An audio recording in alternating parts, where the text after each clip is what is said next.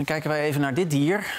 Dit stekende dametje, mag ik wel zeggen. Een zogenoemde dengue of gele koortsmug, de Aedes aegypti. Alleen de vrouwtjes steken, vooral overdag. En die steek die is berucht, want je kan er de ziekte dengue van krijgen, wat de naam ook al zegt. En de muggen en daarmee dus ook de ziekte rukken op.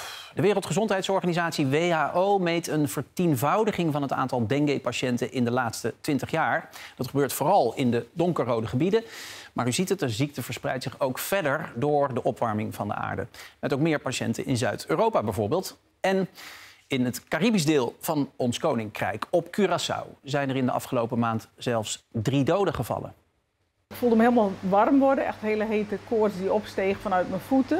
Ogen die heel uh, heet werden, uh, extreme druk op mijn hoofd, heel erge hoofdpijn. En, uh, en daarna dus, ze noemen het knokkelkoorts. Nou, dat voel je dus ook echt, al je gewrichten en spieren gaan zoveel pijn doen. Ik ben echt nog nooit zo ziek geweest. Dengue komt in een aantal varianten voor. Jacoline had de ergste vorm en belandde in het ziekenhuis.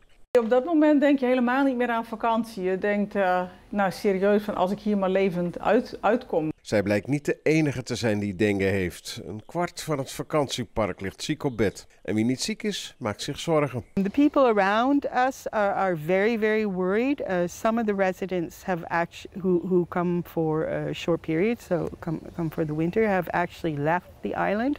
So what you see is a lot of concern, especially from the older residents. Zo open als de mensen praten over dengue, zo gesloten is de Curaçaose overheid. De gezondheidsautoriteiten willen niet voor onze camera verschijnen. Exacte aantallen zijn daarom niet bekend. Maar alleen in het resort van Jacqueline en Suzanne al zijn tientallen gevallen van dengue in de afgelopen weken vastgesteld. Toeristenorganisatie Kasha heeft daarom opgeroepen om open te zijn over dengue en om voorzorgsmaatregelen te nemen. Ze moeten ervoor zorgen dat er geen water stilstaat in de tuin. Ze moeten ervoor zorgen dat de tuin netjes is, zodat er geen ja, opgehoopte bladeren zijn bijvoorbeeld. Daar kunnen de muggen ook heen. Mijn oproep aan de toerist is kom met een flesje diet. Zorg ervoor dat je voor in de avond een lekker luchtige lange broek hebt. En dan ben je helemaal in orde om vakantie te komen. En daar sluit Jacoline zich, ondanks haar dengue, helemaal bij aan. Ik ben wel voorzichtiger geworden. Aan de andere kant, ik wil ook niet in angst leven. Voor de rest vooral welkomen en genieten van het eiland.